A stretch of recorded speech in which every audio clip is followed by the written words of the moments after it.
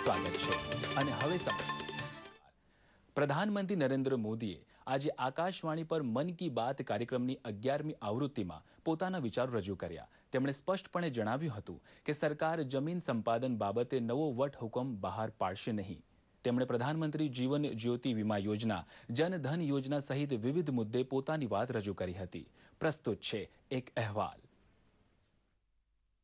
પ્રધાનમંત્રી નરેન્દ્ર મોદીએ કેન્દ્ર સરકારની સામાજિક સુરક્ષા માટેની મહત્વાકાંક્ષી યોજનાઓનો ઉલ્લેખ મન કી બાતમાં કર્યો હતો તેમણે કહ્યું હતું કે દેશવાસીઓએ પ્રધાનમંત્રી જીવન જ્યોતિ વીમા યોજના અને પ્રધાનમંત્રી સુરક્ષા વીમા યોજનાને સહર્ષ વધાવી લીધી તેનો તેમને આનંદ છે આ યોજનાઓમાં અત્યાર સુધીમાં અગિયાર કરોડ જેટલા લોકો જોડાયા છે भारत सरकार ने सामाजिक सुरक्षा को लेकर के कई नई नई योजनाएं सामान्य मानवी के लिए लागू की है।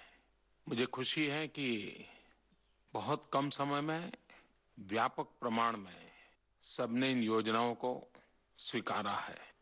मेरे पास जो मोटी मोटी जानकारी आई है कि योजना आरंभ होने से अब तक 11 करोड़ परिवार इस योजना से जुड़े हैं। और मुझे ये भी बताया गया कि करीब करीब आधा लाभ माताओं बहनों को मिला है। मैं इसे शुभ संकेत मानता हूँ।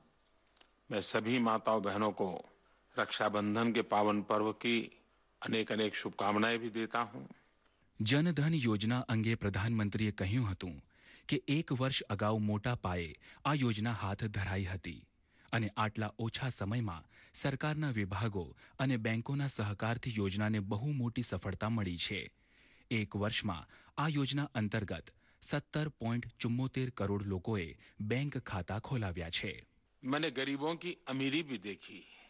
ज़ीरो बैलेंस से खाता खोलना था, लेकिन गरीबों ने बचत करके, सेविंग करके बाईस हज़ार करोड़ की राशि जमा करवाई। अर्थव्यवस्था की मुख्य धारा बैंकिंग क्षेत्र भी है, और ये व्यवस्था गरीब के घर तक पहुँचे, इसलिए बैंक मित्र की योजना को भी बल दिया है। आज सवा लाख से भी ज़्यादा बैंक मित्र देश भर में काम कर रहे हैं। नौजवानों को रोजगार भी मिला है आपको जानकर के खुशी होगी कि इस एक वर्ष में बैंकिंग सेक्टर अर्थव्यवस्था और गरीब आदमी इनको जोड़ने के लिए एक लाख इकतीस हजार फाइनेंशियल लिटरेसी कैंप लगाए गए ગુજરાતમાં તાજેતરમાં બનેલી ઘટનાઓને યાદ કરતા તેમણે કહ્યું હતું કે આ ઘટનાક્રમ સમગ્ર દેશમાં ચિંતાજનક હતો જો કે ગુજરાતની પ્રજાએ સ્થિતિ સંભાળી લીધી એ બાબત ઘણી પ્રશંસનીય છે गुजरात की घटनाओं ने हिंसा के तांडव ने सारे देश को बेचैन बना दिया और स्वाभाविक है कि गांधी और सरदार की भूमि पर कुछ भी हो जाए तो देश को सबसे पहले सदमा पहुंचता है पीड़ा होती है लेकिन बहुत ही कम समय में गुजरात के प्रबुद्ध सभी मेरे नागरिक भाइयों बहनों ने परिस्थिति को संभाल लिया स्थिति को बगड़ने से रोकने में सक्रिय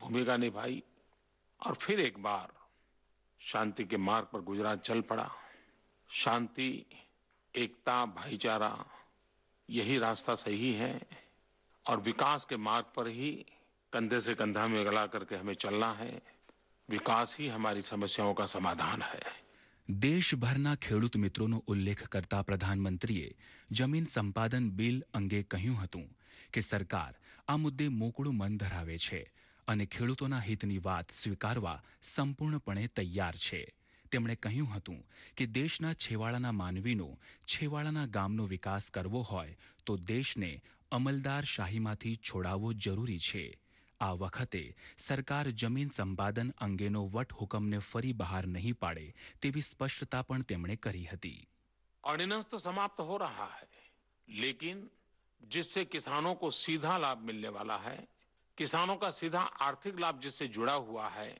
उन तेरह बिंदुओं को हम नियमों के तहत ला करके आज ही लागू कर रहे हैं ताकि किसानों को नुकसान न हो, आर्थिक हानि न हो और मेरे किसान भाइयों बहनों को मैं विश्वास दिलाता हूँ कि हमारे लिए जय जवान जय किसान ये नारा नहीं है ये हमारा मंत्र है દેશભરમાં ચિંતાનો મુદ્દો બનેલા ડેન્ગ્યુ રોગચાળાનો પણ પ્રધાનમંત્રીએ ઉલ્લેખ કર્યો હતો તેમણે આવી બીમારીથી બચવા માટે સ્વચ્છ ભારત સહિતની સ્વચ્છતાને લગતી યોજનાઓને અસરકારક રીતે લોકો અપનાવે તે બાબત પર ભાર મૂક્યો હતો પ્રધાનમંત્રી નરેન્દ્ર મોદીએ મન કી બાતની આગામી આવૃત્તિ માટે પ્રજાજનોને મોકળા મને પોતાના મંતવ્યો અને વિચારો તેમના સુધી પહોંચાડવાની પણ અપીલ કરી છે દૂરદર્શન સમાચાર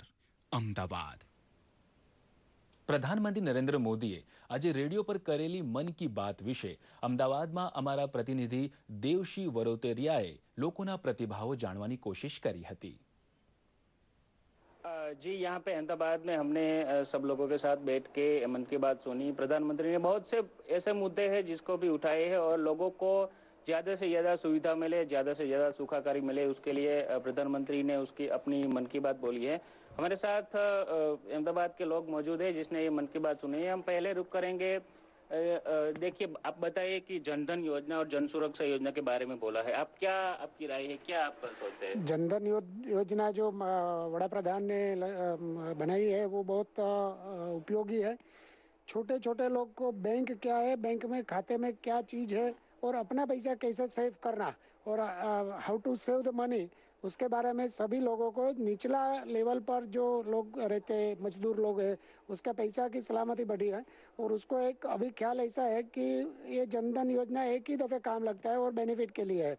मगर ऐसा नहीं है, उसको कंटिन्यू रखो, चालू सतत रखो, चाहे उसमें बैलेंस है या ना है। मानो कि कोई भी योजना है तो जनधन योजना जिसके अकाउंट है, उसको प्रथम फ़ायदा मिलने वाला है। तो जो जैसा बड़ा प्रधान ने बोला, वैसे ही अकाउंट चालू रखना। अ, हमारे पास स्टूडेंट भी है। धरा मैं आपके पास आऊँगा।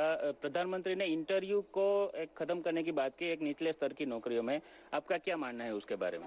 जी एज ए स्टूडेंट मैं यही जानती हूँ कि जब भी हम इंटरनल और जो मेन एग्ज़ाम होते हैं वो पास करते हैं तो वो इजीली हो जाती है। पर जब इंटरव्यू फेस करने की बारी आती है तब लोग ये बोलते हैं कि इंटरनली कुछ मिलावट हो जाती है कुछ क्वेश्चंस ऐसे पूछ लेते हैं कि जिसके वजह से वो फेल हो जाते हैं। और कहीं पे अ, कोई जो जान पहचान वाले लोग होते हैं उसके बाद बात करते हैं कि वो उस, उसके साथ कुछ ताका भिड़ देते हैं तो वो इंटरव्यू में पास हो जाते हैं। तो एज अ टीचर भी मैं यही बोलना चाहूँगी कि मेरे स्टूडेंट्स भी ऐसे बोलते हैं कि कभी कभार जब एग्ज़ाम में पेपर लिंक हो जाता है या ऐसे कुछ प्रॉब्लम्स होते हैं तो कोई स्टूडेंट्स होते हैं वो इजीली पास हो जाते हैं और कोई स्टूडेंट ने बहुत मेहनत की होती है दिन रात मेहनत की होती है वो पास नहीं होते। जी कुल मिलाकर इसमें जो स्टूडेंट है जो नौकरी બિહારમાં આજે યોજાનારી મહાગઠબંધનની સ્વાભિમાન રેલી અગાઉ રાજકારણ ગરમાયું છે. આ રેલી અગાઉ ગઈકાલે જનતા દળ યુનાઇટેડના બે અને રાષ્ટ્રીય જનતા દળના એક ધારાસભ્ય તેમના સમર્થકો સાથે ભાજપમાં જોડાઈ ગયા હતા. આ પક્ષ પલટાથી મહાગઠબંધનને મોટો ફટકો પડ્યો છે. બીજી બાજુ મહાગઠબંધન માટે બેઠકોની ફાળવણી અગાઉ જાહેર થઈ ગઈ હતી. છતાં, હજુ પણ અસંતોષની સ્થિતિ પ્રવર્તી રહી છે. રાજદના વડા લાલુ પ્રસાદ યાદવે પોતાના કોટાની બે બેઠકો સહિત સમાજવાદી પાર્ટીને પાંચ બેઠકો આપવાનું જાહેર કર્યું છે. આજની આ રેલીમાં કોંગ્રેસ અધ્યક્ષા સોનિયા ગાંધી જોડાશે. તેમની સાથે ગુલામ નબી આઝાદ, કે એલ શર્મા અને સીપી જોશી પણ રેલીમાં ભાગ લેશે. દરમિયાનમાં ભાજપના વરિષ્ઠ નેતા રાજીવ પ્રતાપ રૂડીએ આજની રેલીને વિરોધાભાસોની રેલી તરીકે ગણાવી હતી. તેમણે કહ્યું હતું કે બિહારની પ્રજા સાથે જદયુ, રાજદ અને કોંગ્રેસ રાજ રમત રમ્યા છે. ये कई विरोधाभासियों के बीच की रैली है। नीतीश कुमार का राजनीतिक आधार लालू यादव के उस कुशासन के बल पर हुआ था। आज उन्होंने लालू यादव से दोस्ती कर ली। और लालू यादव नीतीश कुमार की जो राजनीतिक नींव रखी गई, वो कांग्रेस के विरोध में रहा। आज कांग्रेस की नेतृत्व श्रीमती सोनिया गांधी पटना जाएँगी। तो ये पूरे तौर से विरोधाभासियों की एक समूह है। और ये सब उसके लिए है कि बिहार में भारतीय जनता पार्टी और एनडीए की सरकार न बने આમ આદમી પાર્ટીએ તેના ચારમાંથી બે સાંસદો ધર્મબીર ગાંધી અને હરિંદરસિંહ ખાલસાને પક્ષમાંથી સસ્પેન્ડ કર્યા હતા પક્ષની વિરુદ્ધની અને પક્ષની છબી ખરડાય તેવી પ્રવૃત્તિઓ કરવાના આરોપસર બંને સામે આ પગલાં ભરાયા છે આ બંને સાંસદો પંજાબના છે અને તેમના વર્તનથી ઘણા સમયથી પક્ષની નેતાગીરી નારાજ હતી જેના પગલે પક્ષની રાજકીય બાબતોની સમિતિએ સર્વસંમતિથી આ બંનેની હકાલપટ્ટીનો નિર્ણય લીધો હતો. બંને સાંસદો સામેની ફરિયાદની તપાસ રાષ્ટ્રીય શિસ્ત સમિતિને સોંપવામાં આવી છે. આરોગ્ય અને પરિવાર કલ્યાણ વાહન વ્યવહાર વિભાગ દ્વારા રૂપિયા સત્તર પોઈન્ટ એકાવન કરોડના ખર્ચે તૈયાર થયેલી એકસો આઠની સેવાના ટ્રેનિંગ અને રિસર્ચ સેન્ટરના લોકાર્પણ સાથે નવી પચીસ એમ્બ્યુલન્સ તથા દસ ખેલખેલાટ વાહનનું લોકાર્પણ રાજ્યના આરોગ્ય મંત્રી નીતિનભાઈ પટેલના હસ્તે અમદાવાદમાં કરવામાં આવ્યું ગુજરાતમાં એકસો આઠ સેવાની શરૂઆત ઓગણત્રીસ ઓગસ્ટ બે હજાર સાતના રોજ થઈ હતી અને ત્યારબાદ કટોકટીના સમયે હોસ્પિટલના પૂર્વેની સારવારનો એક અલગ યુગ વિકાસ પામ્યો ગુજરાતમાં પાંચસો અઠ્યાવીસ જેટલી એમ્બ્યુલન્સ તમામ જિલ્લાની છ પોઈન્ટ ત્રણ કરોડથી પણ વધુ વસ્તી વચ્ચે કાર્યરત છે. અત્યાર સુધીમાં એકસો આઠે સત્તાવન લાખ કરતાં વધુ ઇમરજન્સી કોલને પ્રતિસાદ આપ્યો છે અને ચાર પોઈન્ટ ચાલીસ લાખ કરતાં વધુ જિંદગી બચાવી છે.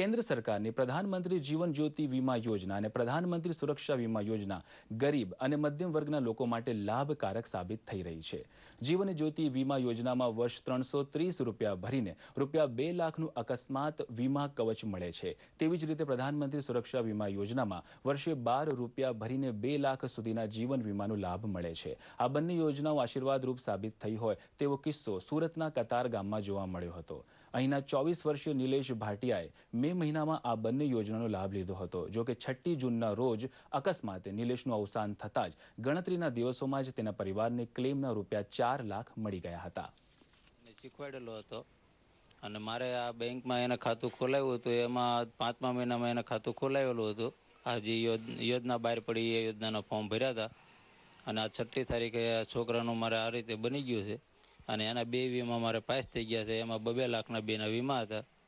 એ બે વીમા પાસ થઈ ગયા છે.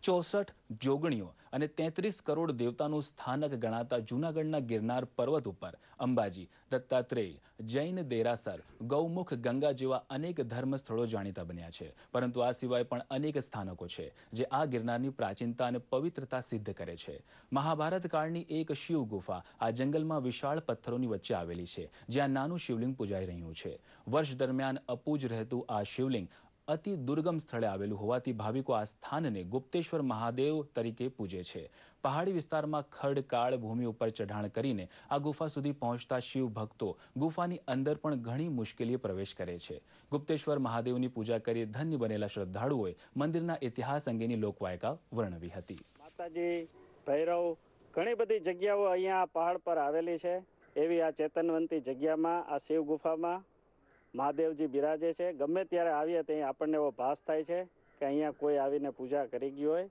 અપૂત શિવલિંગ એટલે એવું કહેવાય છે કે તમે સો વખત પૂજિત શિવલિંગની પૂજા કરો અને એક વખત અપૂત શિવલિંગની પૂજા કરો. ત્રણ મહિનામાં જઈ અમારું આખો પરિવાર જેવું ગ્રુપ છે તેમ બધા જઈને પૂજા કરીએ છીએ.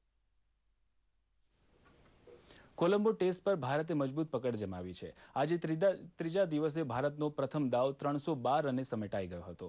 ચેતેશ્વર પુજારા એકસો પિસ્તાલીસ રને અણનમ રહ્યો હતો. શ્રીલંકા તરફથી પ્રસાદે ચાર અને હેરાથે ત્રણ વિકેટે ઝડપી હતી.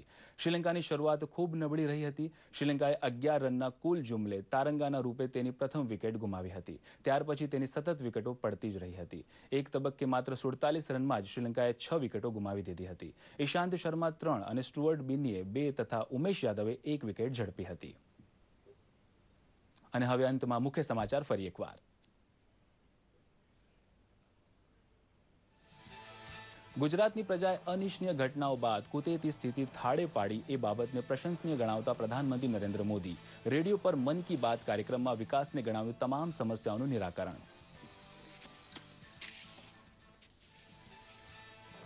જમીન સંપાદન મુદ્દે સરકાર નવો વટહુકમ બહાર પાડશે નહીં પ્રધાનમંત્રી મોદીએ કરી મન કી બાત કાર્યક્રમમાં સ્પષ્ટતા કેન્દ્ર સરકારની વિવિધ કલ્યાણકારી યોજનાઓને મળેલી સફળતાનો પણ કર્યો ઉલ્લેખ સત્તર પોઈન્ટ એકાવન કરોડના ખર્ચે એકસો આઠ સેવાના ટ્રેનિંગ અને રિસર્ચ સેન્ટરનું અમદાવાદમાં લોકાર્પણ કરતા મંત્રી નીતિનભાઈ પટેલ પચીસ નવી એમ્બ્યુલન્સ વાન અને દસ ખિલખિલાટ વાહન પણ લોકાર્પિત કરાઈ. અને કોલંબો ટેસ્ટમાં ભારતની મજબૂત પકડ, ભારતના પ્રથમ દાવ ત્રણસો બાર રને સમેટાયો. શ્રીલંકાની નબળી શરૂઆત સુડતાલીસ રનમાં ગુમાવી પાંચ વિકેટ. તો આ હતા અત્યાર સુધીના સમાચાર. વધુ સમાચાર સાથે ફરી મળીશું. नमस्कार